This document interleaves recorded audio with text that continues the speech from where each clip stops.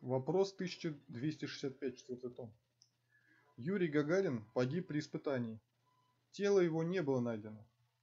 Слепая Ванга говорит, что он на другой планете. Что вы на это скажете? Отвечает Игнатий Лапкин. Это Ванга, ведьма, служитель сатаны. О чем она и не скрывала, говоря о том, как вошел в нее этот дух. Ее хозяин дьявол, есть лжец, а колдуны служители сатаны. Если другой планетой она называет преисподнюю или ад, то тогда она права и сама уже находится там. Гагарин был безбожником. Он не мог совладать с той земной славой, которая обрушилась на него. Мне пришлось сидеть в Барнаульском СИЗО в 112 камере в 1986 году в марте месяце с Лозиным Анатолием Максимовичем, кандидатом технических наук, технических наук, который был преподавателем второй группы космонавтов и хорошо знал Гагарина и рассказал не только о его жизни, но и о смерти. Этот развратник погиб беспокоянно, с матершиной на устах. Дух, который погубил его, хитро назвал место мучения другой планеты. Иеремия 49.16 Грозное положение твое и надменность сердца твоего обольстили тебя, живущего в расселенных скал и занимающий вершине холмов.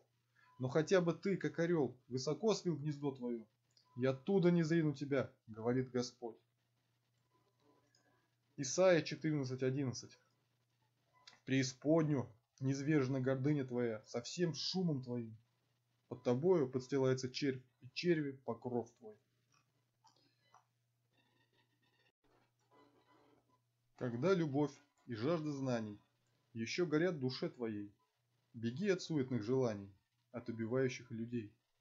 Себе всегда перед всеми верен. Иди, люби и не страшись. Пускай твой путь земной примерен, с непогибающим дружись. Пускай гонение света взыдет, звездой злосчастья над тобой, и мир тебя возненавидит.